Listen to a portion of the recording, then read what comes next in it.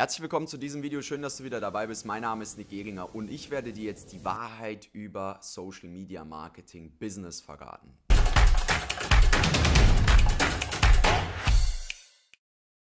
Nun, es gibt nämlich einige Dinge, die man wissen muss, einige Dinge, die nach außen hin vielleicht ein bisschen schöner oder geiler aussehen, als sie tatsächlich sind in Wahrheit. Und äh, warum vor allem die große Masse scheitert dabei, sich ein eigenes Geschäft aufzubauen.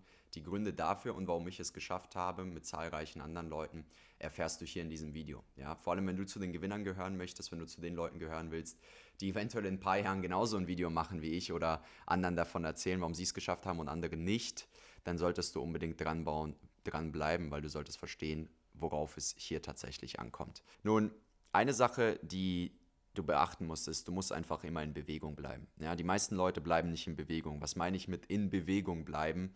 Das heißt einfach, sie bleiben stehen. Sie kaufen sich vielleicht einen Kurs, ein Coaching oder sie holen sich irgendwo anders einen Mentor oder lesen ein paar Bücher, machen äh, YouTube-Videos, gucken sich äh, Blog, Blogartikel an und fangen dann einfach an. Ja, sie legen los, machen ein bisschen was, aber was sie konkret machen, ist einfach stehen zu bleiben. Sie hören auf, sich weiterzuentwickeln. Sie fangen erst gar nicht an zu netzwerken, sich mit anderen Leuten zu treffen, auf Veranstaltungen zu gehen, sich weiterzubilden.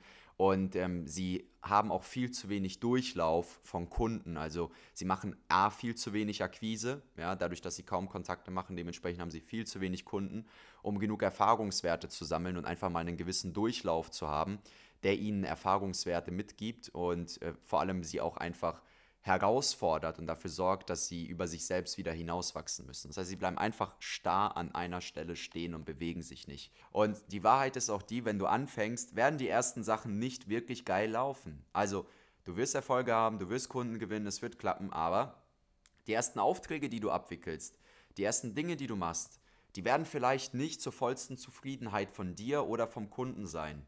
Vielleicht wird der Kunde auch sagen, hey, so habe ich es mir nicht vorgestellt, ich werde den Vertrag auslaufen lassen, ähm, es macht keinen Sinn für mich, ja. Oder vielleicht wird der Kunde auch einfach sagen, pass auf, ja, das war jetzt ein cooler Monat, ich habe aber keine Kohle mehr oder ich möchte es jetzt mal mit jemand anderem probieren. Ja, das wird passieren, auf jeden Fall. Glaubst du, ich habe alle Kunden, die ich jemals aufgebaut habe, sind immer noch Kunde bei mir? Nein, definitiv nicht. Dazu gibt es zwei Gründe. Der erste Grund ist, man versteht sich vielleicht nicht mehr miteinander. Der zweite Grund ist, ähm, dass das Ziel vielleicht nicht erreicht wurde. So, da kann ich was dafür, da kann der Kunde was dafür, da können äußere Umstände was dafür. Und der, dritte Grund ist natürlich der, mein Ziel ist es ja nicht, dass meine Kunden zehn Jahre lang bei mir bleiben, wegen ein und denselben Problem, sondern die kommen ja zu mir, damit ich ein Problem löse. Und wenn ich dieses Problem gelöst habe, dann ist ja logisch, dass die Zusammenarbeit dann erfolgreich erfüllt wurde und man im Regelfall, wenn keine neuen Probleme entstehen, ja, oder wenn die jemand anderen wollen, um ein neues Problem zu lösen, dass ich nicht mehr benötigt werde. Das ist der Grund und auch die Wahrheit hinter diesem ganzen, ich mache mein Coaching-Business, ich mache meine Agentur, ich mache Dropshipping, ich mache sonst irgendwas.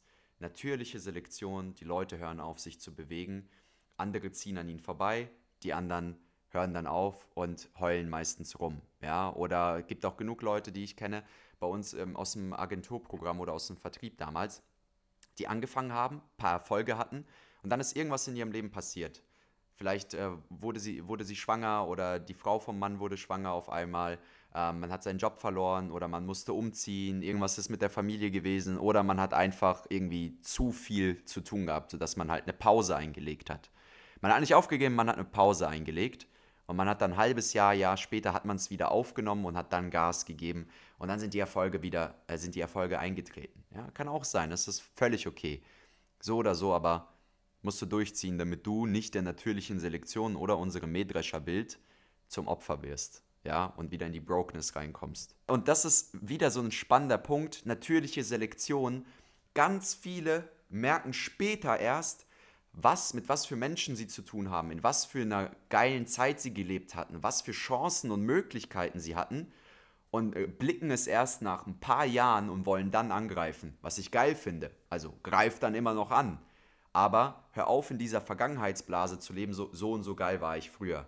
Das interessiert keinen mehr. Du musst jetzt wieder geil werden und jetzt wieder dafür sorgen, dass du relevant wirst und jetzt dafür sorgen, dass du Kunden gewinnst und das Geld auf dein Konto kommt. Und im besten Fall kommst du erst gar nicht in diese Position, weil du konstant durchgezogen hast, weil du konsequent gewesen bist, weil du immer in Bewegung geblieben bist und nicht der natürlichen Selektion zum Opfer gefallen bist. Abonnier den Kanal und aktiviere die Glocke, falls du das noch nicht gemacht hast. An der Stelle freue ich mich darauf, dich im nächsten Video zu sehen. Denk daran, immer dienstags und donnerstags um 18 Uhr.